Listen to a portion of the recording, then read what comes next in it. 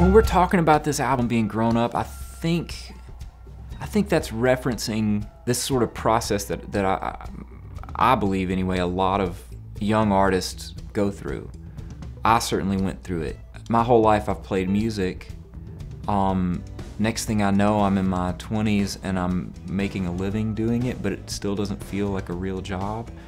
And then next thing I know, I'm signed to a major record label. What was always for me this very tunnel vision, like music that turns me on thing becomes well yeah of course that but now that we've got you here and you know now that this is your job and it's official there's all of these things and all of these things are you know well you got a tour and you've got the press side and the radio side and even you know what you wear and all of that and and none of it's bad it's all a necessary part of this thing Man, I just I felt like that was that whole little time right then and there was I saw you grow as a human being a lot.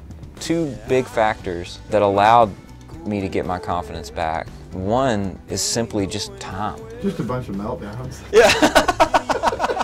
but the other factor I was going to say, I had this great combination of you challenging me, and of course Eric challenging me too, but you were challenging Eric. We were all challenging I each was other. challenged. and Yeah, we were all just challenged. yeah, we were all challenged for sure.